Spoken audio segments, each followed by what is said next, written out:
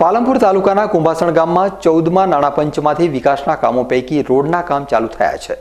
જેમાં નવીન ડેરી આગળ બની રહેલ રોડનું ચાલુ કામ તાલુકા ડેલિગેટે રોકાવતા એરિયાના રહીશો ભેગા થઈ ગ્રામ પંચાયતમાં હોબાળો કર્યો હતો. જેના પગલે પાલમપુર તાલુકા વિકાસ અધિકારી પણ કુંભાસણ ગામે દોડી આવ્યા હતા. અને જગ્યાનું નિરીક્ષણ કર્યું હતું અને સ્થળ ઉપર વિવાદિત જગ્યાનું બોર્ડ લગાવીને રેકર્ડ તપાસીને કામ શરૂ કરવામાં આવશે તેવું જણાવ્યું હતું. અચ્છા, શું સમસ્યા છે ને? આજે બધા ભેગા કેમ છે? અહીંયા ગ્રામ પંચાયત રોડ બનાવે છે.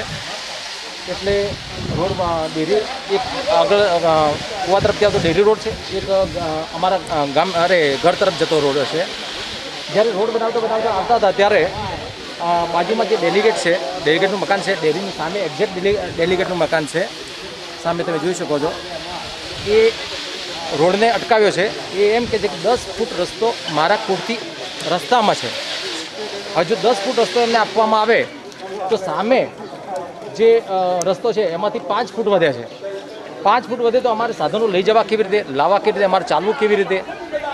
એટલે એ એના સમાધાન માટે આ બધા લોકો અમે ભેગા થયા છીએ. તો પછી અમારા, આ બધા માણસો ભેગા થઈ અને ગ્રામ પંચાયતમાં ગયા.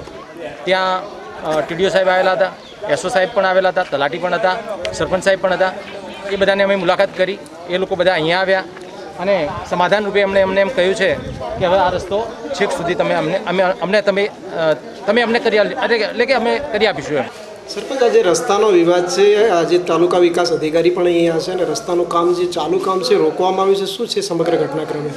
એના માટે અમે કાયદાની પરિભાષામાં રહી અને જે માપ હશે એના અંદરનું જે કોઈ રેકોર્ડ પ્રમાણે માપ કરી અને એનો નિકાલ કરી એટલે હાલ કામ ચાલુ રાખવામાં આવ્યું કે બંધ કામ રાખવામાં કામ તો હાલ ચાલુ રાખવાનું પડે ચાલુ રાખવામાં આવ્યું ચાલુ રાખો એકાદ દિવસમાં અમે એનો નિરાકરણ લાવી દીધું. જે જગ્યાનો વિવાદ છે એ જગ્યા ઉપર કામ?